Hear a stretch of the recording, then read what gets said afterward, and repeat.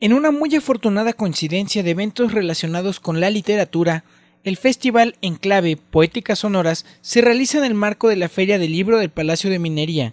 En exclusiva, las coordinadoras, curadoras y artistas Rocío Cerón y Amanda de la Garza hablan de la cuarta edición de Enclave. Bueno, eh, Enclave Poéticas Sonoras es ya la cuarta edición de un festival que en realidad se llama Enclave.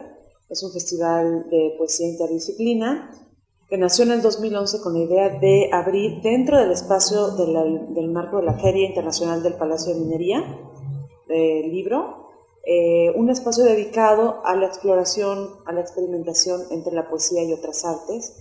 Y esta es su cuarta edición. El festival tiene una temática diferente. Este año es la poesía y lo sonoro.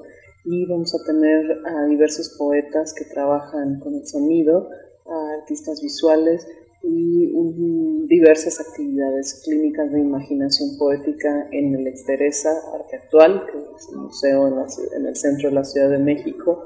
También vamos a tener mesas de discusión a las 2.30 de la tarde en, el Palacio de Minería. Eh, por la tarde vamos a tener recitales con los poetas invitados y el viernes a las 8 de la noche vamos a tener un recital de cierre mm, con todos los invitados al festival comentaron sobre su interacción con la Feria del Libro.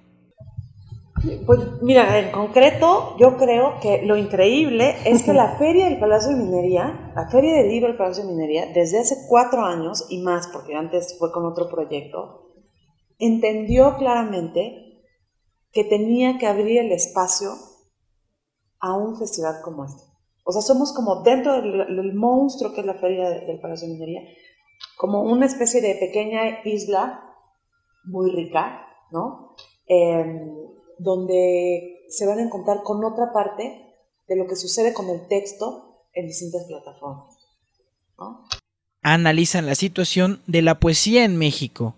Es un momento interesante para la poesía. Diría que conviven diversas maneras de hacer poesía actualmente, ¿no? Una poesía que parte mucho más de una tradición poética de la literatura mexicana, una poesía que habla mucho más de la vida cotidiana. En clave Poéticas Sonoras explora la poesía a través de sus eventos.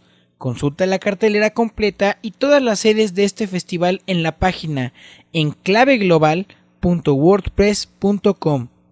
Para nuestra visión noticieros, Gerardo García.